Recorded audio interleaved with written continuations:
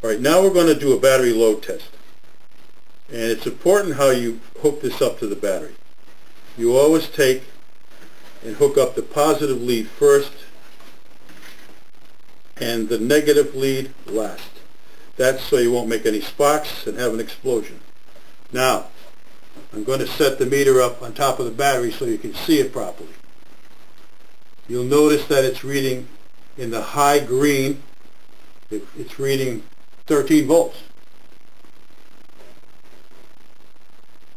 Now what we're going to do is we're going to do the load test. There's a switch on the bottom of the load tester that puts a load on the battery.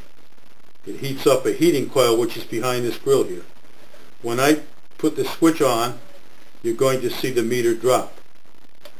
Now what you would do is you would count 10 seconds by going 1001, 1002, etc. till you get to 1010 very slowly.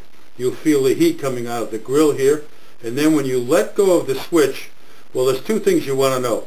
First of all, you notice it barely dropped down into the yellow. Second is when we let it go, it goes right back up to about 13 volts again.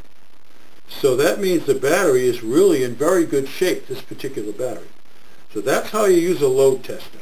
Now when you take it off, you always take off the ground first. You do it opposite than, than going on and take off the positive last, again, so you won't make any sparks.